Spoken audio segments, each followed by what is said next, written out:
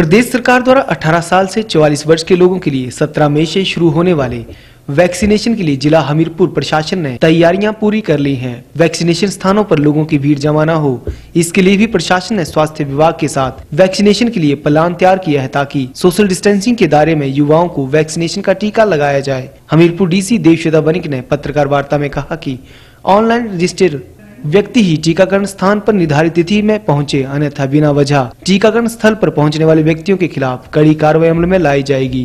क्योंकि इससे न केवल स्वास्थ्य विभाग की परेशानियाँ बढ़ेगी तो टीकाकरण स्थल पर भी टीकाकरण में देरी होगी। वनिक ने कहा कि जिला प्रशासन के द्वारा टीकाकरण स्थलों की संख्या को बढ़ाने के लिए भी तैयारियाँ की जा रही हैं ताकि कोविड संक्रमण से बचाव में काम किया जा सके। उन्होंने लोगों से भी आह्वान किया है कि लोग जल्द अपना रजिस्ट्रेशन दर्ज करवाएँ और दी गई तिथि वो स्थल पर ही टीकाकरण करवाने के लिए पहुँचे। हमें जो सूचना, प्राथमिक सूचना के अनुसार 17 तारीख से जो है, ये प्रक्रिया पूरे प्रदेश भर में होने जा रही है। और इसके लिए सारी तैयारियाँ जो हैं हम करने में हमने तैयारियाँ पूरी शुरू कर दी हैं। काफ़ी तैयारियाँ पहले से ही चल रही थी। हमें हम पहले से ही बार बार जो हमारे युवा जो वर्ग है 18 से 44 इयर्स के बीच के, उनको हम बोल रहे हैं बार बार कि वो अपने आप को रजिस्टर करें। क्योंकि ये जो अब, क्योंकि पॉपुलेशन काफ़ी ज़्यादा होगा जो इस एज ग्रुप में केटर होगा और जैसा हमें पता है कि अभी कोविड के काफ़ी जो क्रिटिकल फ़ेज़ से हम गुजर रहे हैं और किसी भी तरह से हम क्राउडिंग कहीं भी होने से बच रहे हैं तो वैक्सीनेशन कोविड का ही एंटीडोट है, लेकिन साथ साथ में वैक्सीनेशन साइट खुद भी कहीं कोई क्लस्टर का रूप धारण ना करें, वो भी हमें बहुत ज़रूरी और अहम चीज़ ध्यान में रखनी है। हम कोशिश कर रहे हैं कि जहाँ तक पॉसिबल हो स्कैटर्ड साइट्स हो वैक्सीनेशन की, ताकि लोग नियरेस्ट पॉसिबल लोकेशन में आके लगा सकें और डिसेंट्रलाइज तरीके से लगवा सकें। साथ में ये ध्यान दिलाना चाहूँगी सभी लोगों को कि जब जब जिस जिस दिन वैक्सीनेशन की साइट होगी। उन्हीं लोगों को वैक्सीनेशन लगाई जाएगी और उन सेंटर्स में आने दिया जाएगा जो उस दिन के लिए रजिस्टर्ड हो। ऐसा कोई भी व्यक्ति जो अनरजिस्टर्ड है या उसकी सेशन उस दिन शेड्यूल्ड नहीं है, उसको ना उस दिन वैक्सीनेशन लगाया जाएगा तो उसको व्यर्थ ही वापस जाना पड़ेगा। और साथ में, अगर वो कोरोना कर्फ्यू के टाइमिंग्स के इधर उधर वो घूमते हुए पाए जाते हैं तो भी उसके खिलाफ कार्रवाई होगी। तो ये चीज़ कृपया सभी लोग ध्यान में रखें कि आप लोग सभी जो है, विधिवत रजिस्ट्रेशन करें और जो जिस दिन के लिए टाइम दिया गया होता है रजिस्ट्रेशन में, उसी दिन आप लोग जो है वैक्सीनेशन साइट्स में आए ताकि हम अनावश्यक रूप से भीड़ भी एकत्रित ना हो। जो जो पात्रता रखते हैं, उनको बिल्कुल समय से जो है वैक्सीनेशन होके हम फ्री कर सकते हैं। कह रही हूँ, सिर्फ़ हॉस्पिटलों में नहीं, अभी भी हम हेल्थ सब सेंटर स्तर तक लगाने की जो है हमने व्यवस्थाएँ की हैं। हम कोशिश कर रहे हैं कि और ज़्यादा डिसेंट्रलाइज करेंगे। एकत्रित करेंगे तो एक जगह पे ज़्यादा लोग इकट्ठा होंगे और इस समय पे जो है ये कहीं भी एडवाइजेबल नहीं है। तो इसलिए थोड़ा हमें स्टाफ को उस तरह से मैनेज करना पड़ेगा। ज़ाहिर सी बात है, ज़्यादा टीमें बनेंगी तो स्टाफ की ज़्यादा रिक्वायरमेंट रहेगी। फिर भी हम जितना पॉसिबल हो सके डिसेंट्रलाइज तरीके से वैक्सीनेशन के जो है, पूरी मुहिम को करेंगे।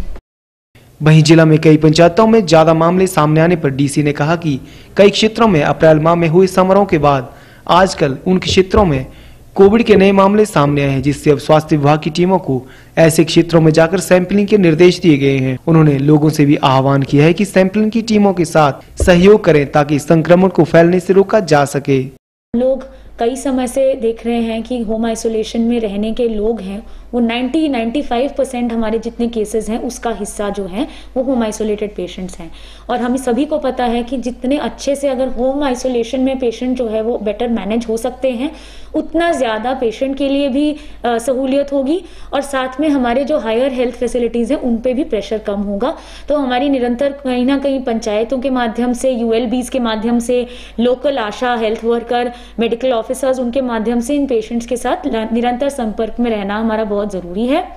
इसी के चलते थोड़ा पेशेंट्स का मनोबल बढ़ाने के लिए एक जो है फ़ील्ड से डायरेक्ट फीडबैक लेने के लिए कि पेशेंट्स की देख रेख होम आइसोलेशन में कैसे हो रही है पेशेंट सच में किस स्थिति में है आ, कोई उनको दिक्कत आ रही है कि नहीं तो हम लोग जो है थोड़े जितना हो सके हम पेशेंट्स को फिजिकली विज़िट कर रहे हैं। ऑफकोर्स विथ ड्यू प्रिकॉशंस दूर से घर के अंदर नहीं घुस रहे हैं बिकॉज़ अपना खुद की सेफ्टी भी बहुत ज़रूरी है while working in times of crisis और मैंने भी कुछ दिन पहले खुद विज़िट किए थे कई सारे सारे घर और पेशेंट्स ने काफ़ी अच्छे जो इम्पोर्टेंट फीडबैक दिए। हमें जो है इम्प्रूवमेंट लाने में भी उससे मदद मिलती है।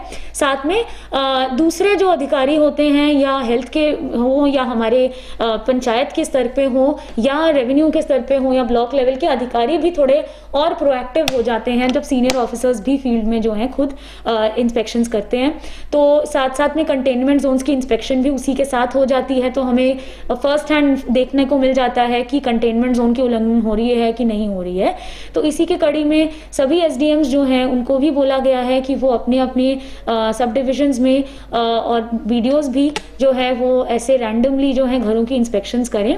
और पिछले कल एस हमीरपुर ने भी किए हैं और काफ़ी अहम फीडबैक जो है लोगों से आया है उनकी इंटरेक्शन और लोग खुश हो रहे हैं उस चीज़ से कि थोड़ा मनोबल जो है उससे बढ़ता है और घर वालों का भी मनोबल बढ़ता है। सिमिलरली सारे एस अपने अपने स्तर पे कर रहे हैं और और भी ज़्यादा इन विजिट्स को ज़ोर देने के लिए हमने उनको कहा हुआ है।